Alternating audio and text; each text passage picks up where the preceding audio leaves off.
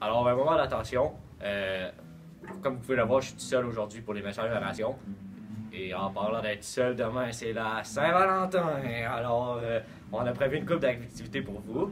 Alors, euh,